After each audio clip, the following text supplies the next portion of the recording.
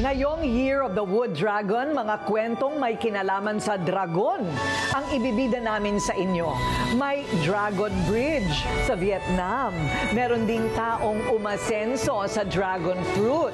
Mura ba o mahal ang mga pang-display na dragon collections? At totoong dragon sa Pilipinas? Talaga ba? Meron nga ba dito? Heto na! It's all about the dragon.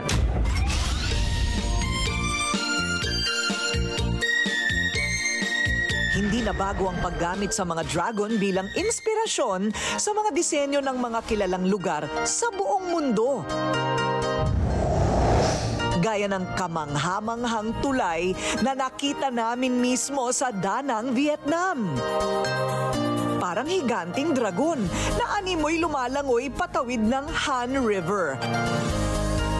Isa ito sa mga natatanging atraksyon sa tinaguriang Paris of the East aakalain nyo ring buhay ito dahil bumubuga pa ng apoy at tubig sa gabi. Kapansin-pansin din ang mga palamuting dragon sa mga lumang templo ng Vietnam.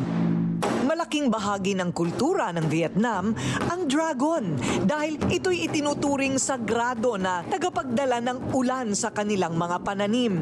No wonder ang Vietnam tinagurian pang the land of the ascending dragon isang eksena naman sa fairy tale movie, ang nakapulupot na dragon na ito sa isang templo sa Thailand. Ito ang Wat Sampran Temple na tinawag ding the Dragon Temple. May taas na 80 meters na katulad ng edad ni Buddha nang siya ay mamatay. Nakaweksena naman ang giant dragon escalator sa Beijing, China na parang gumagapang pababa ng bundok. Amazing at picture perfect naman ang mga giant dragon sa paligid ng Marina Bay Sands at Gardens by the Bay sa Singapore. Just in time para sa Lunar New Year ng mga Chinese. Breathtaking din ang lights and sound show nila featuring ang mga realistic dragon figures.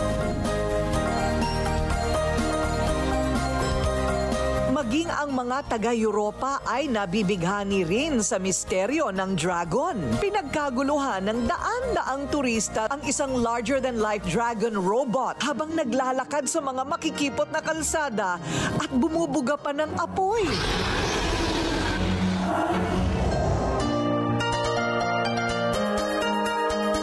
Dragon is always a symbol of power, authority, um, and also abundance and prosperity. Okay? And kung titignan natin, dragon is both mythical and also mystical. Okay? Pag sinabi nating mythical, marami tayong mga myths, kwento. Dragon is always a symbol of leader, the king. Hindi lang sa atraksyon, istruktura at paniniwala kilala ang dragon.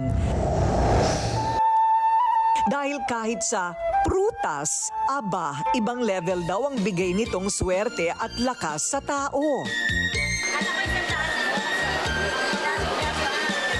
Dito sa Quiapo, makikita po ninyo ang pinipilahan na dragon fruit juice. Ginagawa po nila itong parang palamig at patok po ito sa masa. Katunayan itong si Patty, halika dito. Si Patty, umasenso na dahil sa pagbebenta ng dragon fruit juice. Bakit gustong gusto ito ng tao?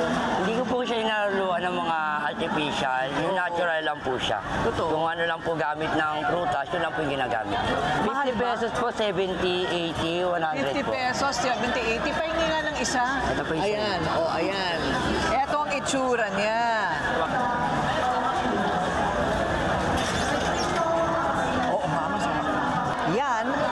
Dragon fruit. Cheers! Mahigit isang dekada nang nagbebenta ng mga prutas ang pamilya ni Patty. Nang mauso ang dragon fruit, agad nilang sinubukan ito kung mabenta. Yun lang na dahil may kamahalan ang presyo ng mga dragon fruit, minsan matumal kaya nakahanap ng paraan si Patty kung paano ito mas mapagkakakitaan. Ang dragon fruit binebenta niya bilang fruit juice. Sinubukan ko lang kung papatok sa masa kasi na, nanginayang nga ako itapon. Ako kasi malagang bagay sa akin bawat sentimo. Hindi nagtagal, nakatawag pansin ang pakulo ni Patty at unti-unting pinipilahan ng mga tao. Kaya naman lalong sumikat ang unique fruit juice sa Quiapo at dinadayo pa para lang matikman. First time. Masarap, refreshing. Sa- masarap po talaga. Napadaan lang po kami dito. And then, uh, we're gonna try to drink this. Pero masarap, na, masarap talaga. How? Hindi daw bababa sa 15,000 pesos ang kinikita ni Patty bawat araw. Dahil sa negosyo, nakapagpundar na siya ng sariling bahay sa pamilya at may sasakyan pa. O di ba swerte ang dragon fruit sa kanila? Ako, naniniwala ako na pag masipag ka, doon, doon dadating biyaya sa'yo. Saka manali ka lang sa kanila. Kay Tata Negro. Tata Negro kasi tawag ko dyan eh.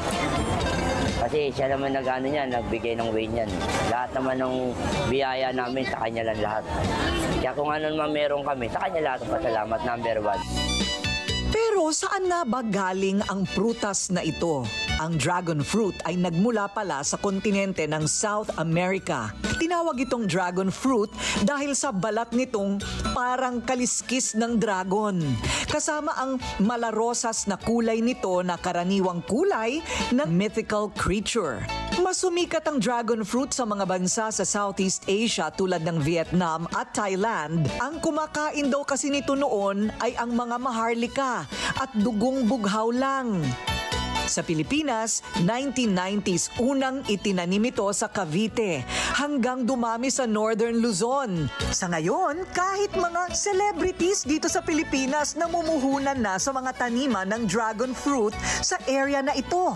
Isa ng aktor na si Joey Marquez ng teleseryeng Batang Quiapo na may malaking taniman ng dragon fruit sa kanyang farm. Naging mabili dahil sa taglay nitong health benefits. Ang dragon fruit ay maituturing na wonder fruit. Mayaman kasi sa sustansya ang prutas na ito na kailangan ng katawan tulad ng iron, magnesium at potassium. Nakakatulong daw ito sa mga may high blood at sa mga may diabetes. meron din siyang fiber. And fiber is good for the good bacteria in our stomachs. Dragon fruit, sobrang dami niyang tubig, mataas siya sa electrolytes. Kumbaga, kung umiinom ka ng mga electrolyte-rich bottled products, pwede na rin yung Pwede na rin yung dragon fruit doon. Matubig na fruit, maraming uh, nutrients, minerals, and antioxidants. Kung ang dragon fruit ay mabisa sa katawan at kalusugan, kapag sinabi ko, kailangan totoo. Walang dagdag, walang bawas, walang kasinungalingan. Galit kasi ako sa manloloko, sa sinungaling at sira sa salita. Ang lakas maka-unprofessional ng walang integridad. Ganon din dapat sa pagpili ng sabon para sa muka at balat ng sarili nating katawan. Dapat sigurado, dapat kumpleto, dapat epektibo. Kaya ang payo ko sa inyo, huwag iasa sa mga bolero ang kutis na pinapangarap ninyo. Dito kayo sa may kredibilidad, integridad, proven and tested. Skin Pro.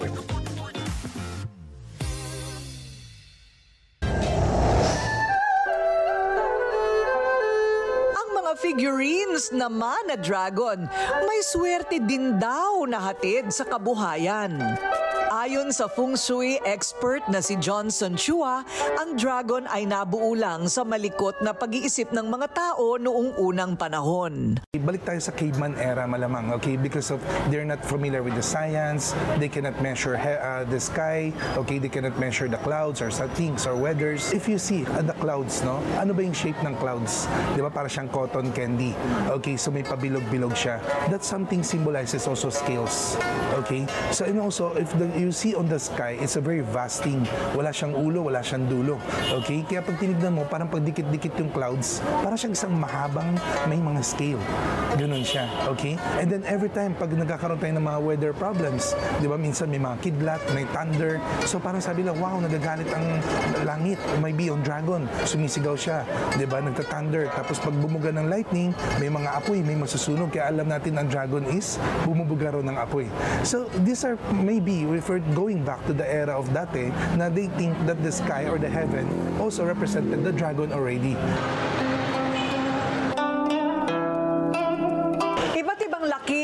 Hugis at kulay ng dragon ang matatagpuan dito sa Binondo. At bawat isa ay may espesyal na kahulugan at impluensya sa nagmamay-ari nito. Ngayong taon na ang mga wood dragon ang bida at hinahanap ng mga taong naniniwalang magdadala ito ng swerte sa kanilang negosyo. Dragon with money bag. Ah, kailangan siya isabit po siya sa door, sa main door, o kaya sa mga tindahan. Ah, kadalas nag-a-attract po siya ng swerte. May iba-ibang klase rin daw ng mga dragon ayon sa limang elemento sa Chinese zodiac. Ang bawat elemento ay may kaakibat na kahulugan sa bawat tao. So bali, we have what we call the five elements dragon. This is called the wooden dragon, which is represented by green color because green is the color of the wood. So alam natin, wood is about competitiveness at maganda sila pa in terms of productivity. Sila po yung mga medyo magagaling in terms of negotiation, network, and connections. Fire dragon, so this one naman represent the red color. Red color represented fire and also represented marketing, branding, and also medyo power to influence. So the fire dragon is medyo malakas siya in terms of convincing people and also to brand people. Kaya medyo magagaling, magaganda ang mga fire dragon. Earth dragon, represented by the yellow color. Kapag titignan natin, medyo brownish yellow or mustard color. Because the earth dragon naman represent para for like mounting, about relationship with people. Kaya mga earth dragon, medyo sikat naman sila in terms of human connections. Nakatulong din sila in terms of services. So this one naman is what we call the metal dragon. Metal dragon is represented by white color or golden colors. That has something to do with creativity, innovations, and maganda rin po sila in terms of consultations like that. Okay, so metal dragon, magagaling sila as mga consultants. So when you say water dragon is something represented by blue color. And alam natin water dragons from the ocean and the ocean has limitless, unlimited mga resources. Mga water dragons, sila yung mga magagaling sa mga negosyante, okay, or magagaling sila in terms of finding investments, okay, because all the resources is with the water dragon. Bunga man ng imahinasyon ang kathang-isip na dragon na alam nating pagkalaki-laki na lumilipad sa himpapawid, ay meron namang mga totoong hayop na mukhang dragon talaga.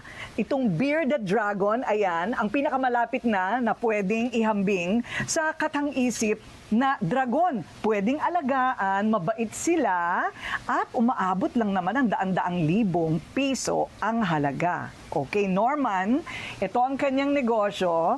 And ituro mo nga kung ano-anong klaseng mga bearded dragon ito. So we have variety of bearded dragons here. Uh, this is one of one of our uh, very special one. It's an albino bearded dragon. Price 400,000 pesos because red po yung eyes nila.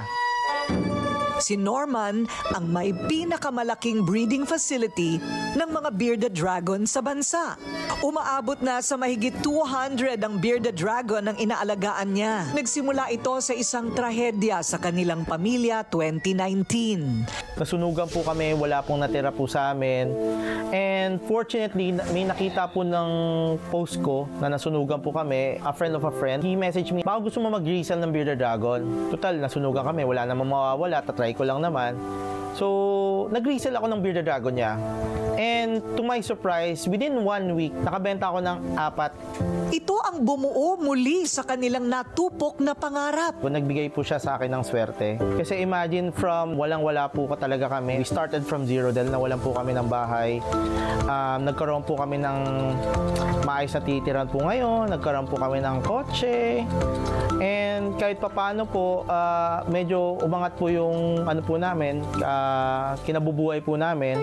Maliban sa magandang kita sa pagbebenta nito ay naging instrumento rin daw ang mga bearded dragon para siya ay makapagbahagi ng kaalaman sa pag-aalaga at pagbibigay proteksyon sa mga hayop at kalikasan. They're very, very child-friendly. Okay. Uh, whenever we have events and exhibit, uh, pinapahandle po namin yan sa mga tao po. And the good thing about that, people appreciate that. Natututo po sila about uh, lizards and snake. Nawawala po yung takot nila. They're very docile po talaga kasi. But not very smart. Um, not very smart compared to dogs and cats. Ang presyo nito depende sa klase, kulay at mutation habang ito'y lumalaki. Sabi pa ni Norman, mayroong iba't ibang level ang mutation. Gaya ng normal mutation na nagkakahalaga ng 3,000 pesos, dark red line mutation at 30,000 pesos, zero hypo mutation 35,000 pesos, dark red 150,000 pesos, zero at yellow thunderbolt na 200,000 pesos at ang pinakamahal, ang white paradox o ghost na tumataginting na 500,000 pesos ang halaga ng isa. Tumatagal ng hanggang 15 years ang buhay ng bearded dragon lalo na kung maayos ang pag-aalaga nito. Wow! Hitik na hitik ng tungkol sa dragon. Sa Year of the Dragon, walang duda. Bahagi na ng kultura sa bawat bahagi ng mundo. Ang paniniwala sa mga dragon na makapangyarihan, nagbibigay ng swerteng inaasam. Ikaw, naniniwala ka bang may dragon na nagbibigay swerte?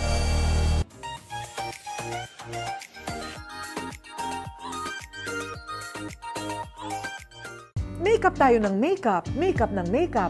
Paano tatanggalin ang makeup? Sabi ko, paano tinatanggal ng tao ang makeup nila? Ito ginawa ko kasi araw-araw ako halos naka-makeup sa TV Patrol, di ba? Sa aking mga show. Ang baby oil malagkit. Tapos, ayaw mo mag-shampoo, nalagyan na ng oil yung shampoo, pati unan mo may oil. Ayoko rin yung nasa jar.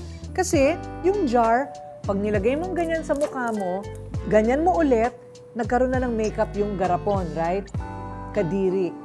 Ito, very hygienic and has vitamins and is also lightening on the skin. It's a tube and it's called Take It Off. Matatanggal lahat. Pati problema nyo matatanggal. Namomroblema tayo sa maduming balat, ito tanggal lahat. Okay?